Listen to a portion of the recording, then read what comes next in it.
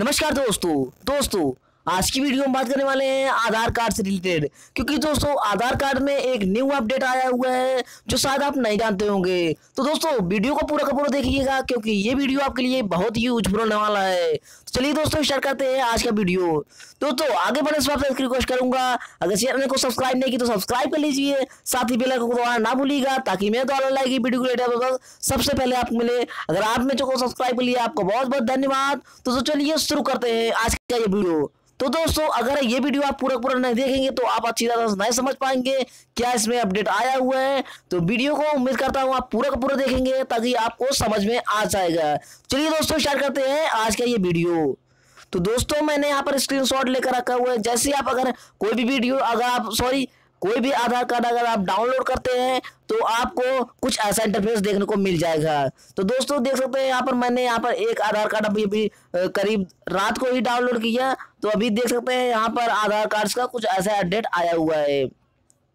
तो दोस्तों, यहाँ पर देख सकते हैं, अब जो भी जो भी आधार कार्ड अब निकल रहा है इस समय वो अभी इस समय इस प्रकार से निकल रहा है। देख सकते हैं एक्स एक्स करके ये चार, आठ बार एक्स इसके बाद यहाँ पर ग्यारह इकसठ मतलब लास्ट में आपको चार अंक मिलेगा, इसके बाद आपको पूरा पूरा यहाँ पर ब्लैंक मिलेगा। ये आप, ये आपका सिर्फ़ डाउनलोड करने से ही नहीं, अब इस समय ये चारों तरफ़ यही चलेगा। क्योंकि दोस्तों, इसमें आठ अंक का ब्लैंक रहेगा और इसके बाद चार अंक इसमें खाली रहेगा। तो दोस्तों, एक न्यू अपडेट आया ये क्या अपडेट आया ये आप देख सकते हैं।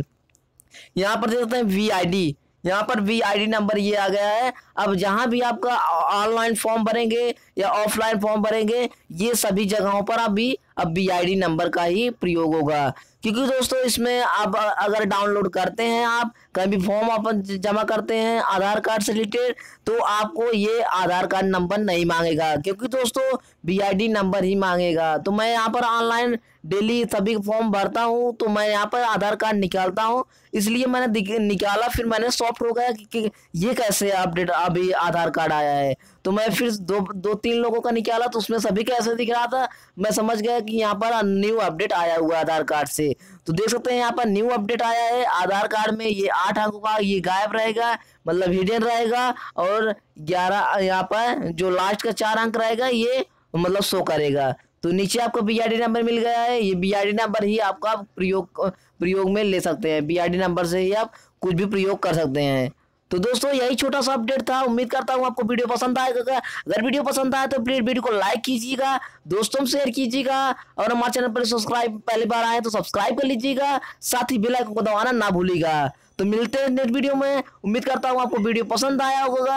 आपको बहुत बहुत धन्यवाद दोस्तों इस वीडियो को देखने के लिए। Thanks for watching good night bye see you